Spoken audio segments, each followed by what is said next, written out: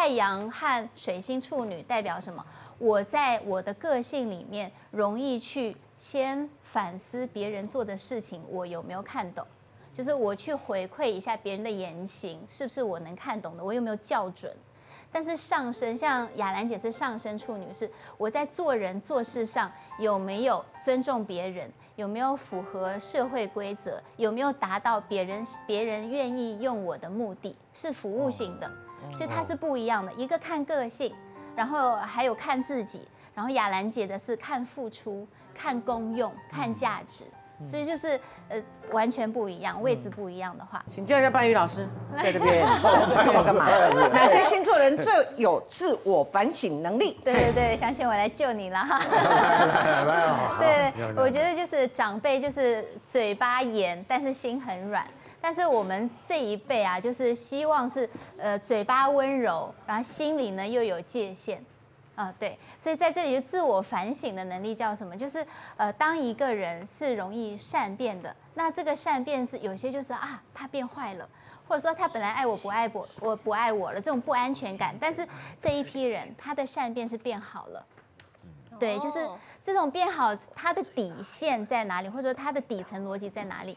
因为他内心简单，当他遇到问题的时候，很多人是会啊，这样我就害怕，或或者我遇到什么问题的时候，别人不支持我，我就多疑。但是这些人的特质是因为我内心简单，我用简单的个性去疗愈周围的人的复杂。有一天有人能看懂我的时候。我自己也能过得舒服，我就可以有界限，好好的生活。对这个心理转折，就是大家如果能理解他们的话，他们的自我反省能力更多的就是返璞归真，做了真正的自己了哈。哦，参考一下太阳上升和水星，我们来看第三名，摩羯座。现场没有观众朋友，如果有的话，不断改进，实现目标。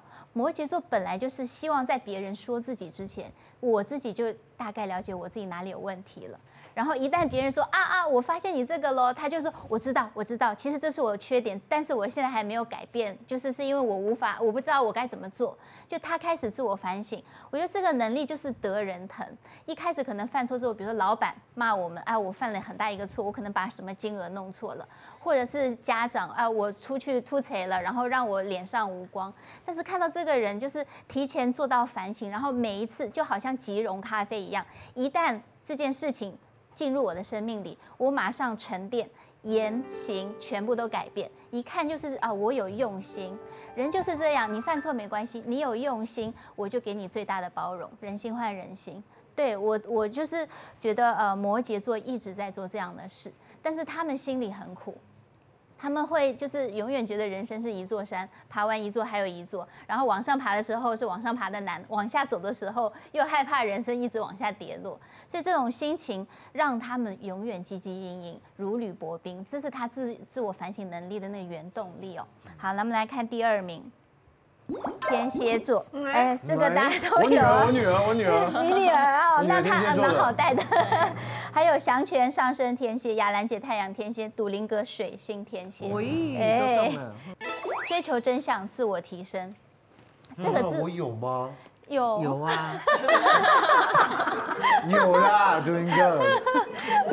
那我们来看一下，这个没有表面上写的这么简单。天蝎呃有自我反省，通常都是在人性上叠交，就是有点像什么看懂了厚黑学之后，我知道人心不能像我想的那么的，比如说我直接告诉别人，哎，你鼻子里有鼻屎，你背后标签没有剪，我以为我对他好，但对方说你何必戳穿我？就是了解人性之后，哎，追求这个真相。到底是怎么样去与人互互动和拿捏这件事情，就一路会在叠撞。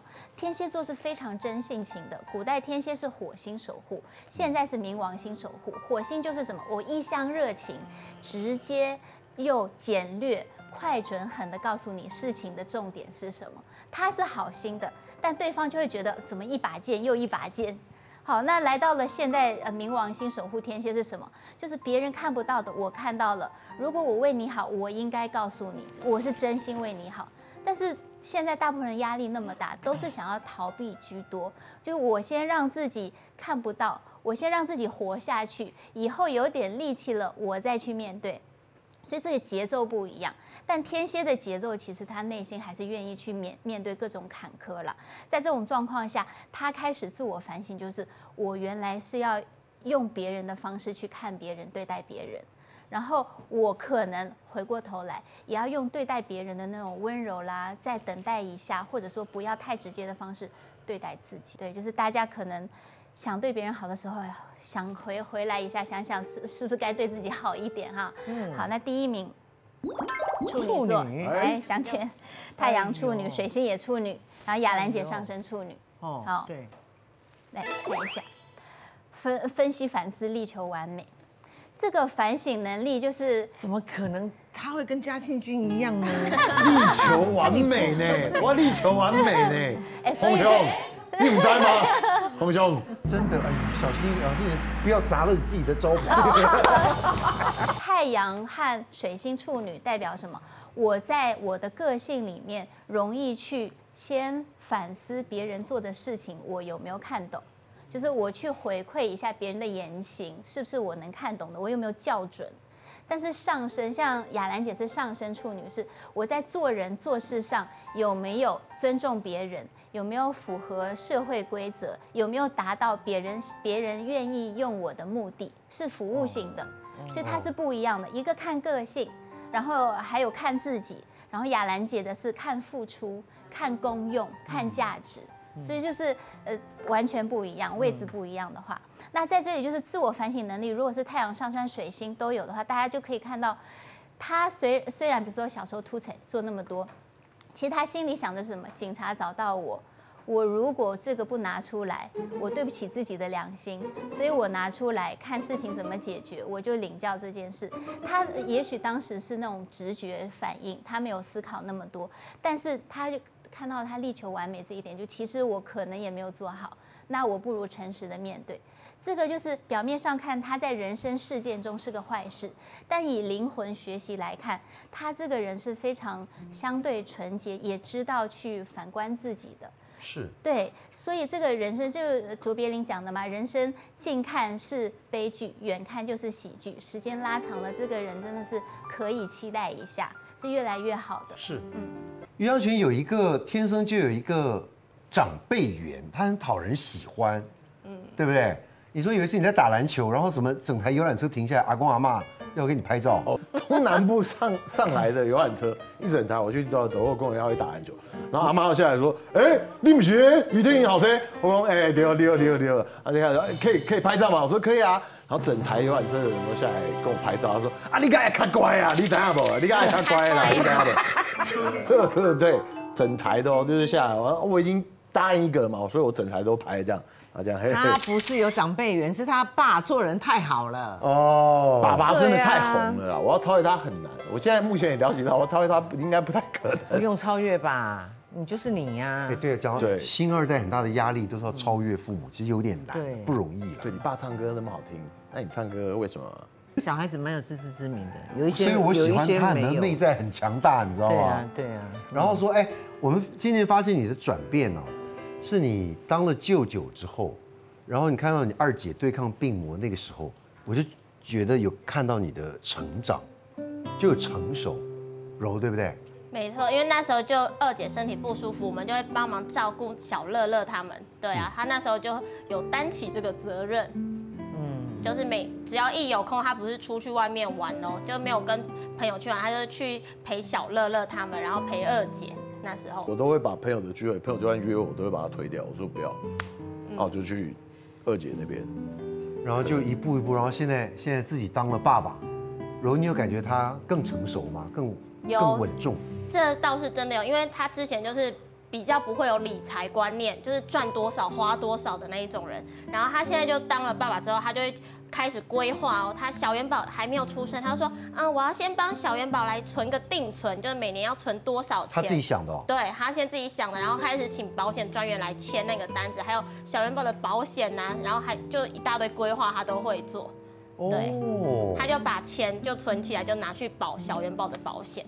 哦，保险是应该啦，做定存，定存他就一年可是要缴个四十五十万。哦，对，我找个理财的啊。有啊有啊，就是理财，我帮他定存一个就是六年的计划，然后他到然后我会把这笔钱忘记，就当做没有这笔钱，对。忘记，然后等他二十岁的时候，他就可以领两三百万这样。嗯，帮他干嘛存钱忘记？你是怕你记牢牢是不是？记牢了就会想要花就是那笔钱想要想啊。要花那笔钱啊，可是 就是把它忘掉了，你把它忘掉，当做没有这个事情，对让他自己不知道。我也怕不能一次给他，要慢慢给他。比如说你毕业了，我说先，对，如果他给他两三百万，他跑了怎么办？什么叫做他跑了？跑去哪里？现在小孩很难管的，你也不知道怎么要弄他，对不对？对不可以告诉他，所以他才会孝顺。对啊，我爸手上有一笔钱，我告诉你，对啊，就乖乖的给我回来。就是专门帮你弄的，对不对？小时候就帮你，不然存的啊，对不对？所以哎他不只是当爸爸之后，他才其实这个柔在怀孕的时候啊，他他也会，他也会怕柔柔没有安全感，所以你那时候你就已经很懂得说走到哪里都会报备，你很安全，对让柔放心。会拍，比如说我去健身房，我都会拍那个那个时间，照片啊照片，照片而已啊，照片可是里面有我可以先冲去健身房柔他是。自己本来就会，还是你把他骂会没有的？，他是有一次被我抓到说谎，联合经纪人一起说谎，被我抓到。从那一次之后，他才开始狂拍照给我证明给我看。就是那时候他去录影，然后他因为我怀孕，就家里都不能抽烟，他是会抽烟的人。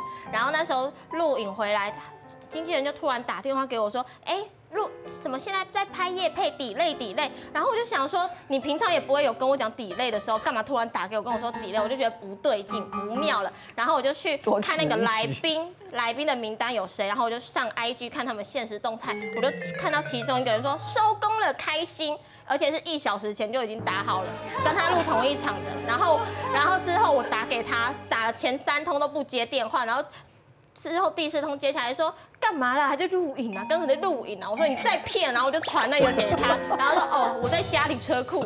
然后他就说，因为因为上去又不能抽烟那些，我想要有一个人的空间，我在里面打电动。我真的没有干嘛，你知道吗？我只是需要多。可是干嘛要骗？你就说你在家里车库就好了，你干嘛要骗？那怕被骂那我怕我被他骂、啊，因为我真的常常被他骂、啊，他就是怀孕就是一直骂我、啊。嗯嗯。我想说，只要一个自己的空间，然后抽抽烟。我哎我真的在车上打电动哎、他以前也不坏啦，他以前不坏，就是天 就是耍天真呐、所以就出了一些状况。但是现在倒是真的是变成一个大暖男，对。对。不对？对家里、对爸妈的照顾啊，什么对家人，哎，听说有一次你手机没开啊，没开声音，结果被狂抠。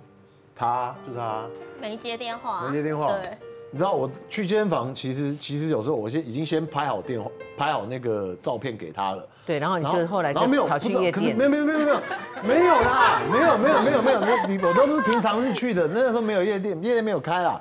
然后反正就是我也不知道为什么，哎，突然就我的手，因为你进健身房前，你是不是它里面有三温有那个烤箱，然后有蒸汽室，有那个泡澡的地方是不能带手机的。然后出来以后呢，我我就跟我朋友在那个便利商店前面抽烟，哈哈哈在聊天，哈哈哈就是。聊天一定要这样子，对不对？就类似这样，就类似这种，那哈哈讲什么，哈哈哈，就是讲一些屁话，我都没听到。然后后来我一接到，一接起来，他打来，他说你干嘛不接？然后一看，哇塞，一百通他打了大概二三十通电话来，没接到，我真的没接到。然后然后我就说，哦，对不起，我真的没接到。然后我朋友都，我朋友在旁边都傻眼，因为他从很大声骂得很大声，在电话的外面都听得到，我朋友都听得到他骂什么，你知道吗？然后我就赶快回车上，我就把车上开扩音，然后已经他骂我骂骂骂骂骂了半个小时，回到之后我说我到家我要上去了，然后那时候一点，我记得他从一点念我念念到五点，念到睡着了，我睡着了，我睡着，我是真的睡了，我不是故意说装睡，我真的睡着，就是被他骂到我就。嗯两个来上我们节目这么多次，我觉得他们越好像越来越融洽，那个感觉越来越好，是那种无形当中的那种感觉，就已经磨合好了，磨合好了，对，无盖有差了。